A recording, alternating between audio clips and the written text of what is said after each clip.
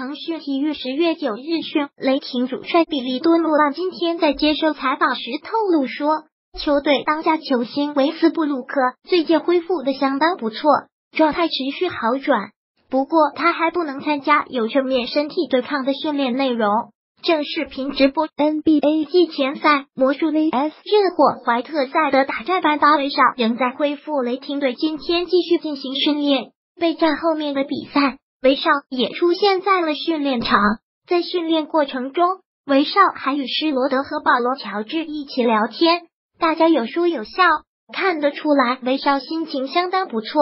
在雷霆的全部训练内容结束之后。韦少还与队友们进行了一些投篮练习。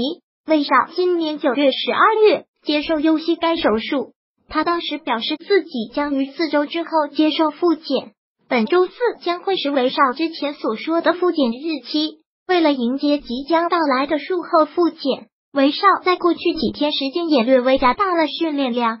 多努万教练透露说，韦少的身体状况每天都在持续好转。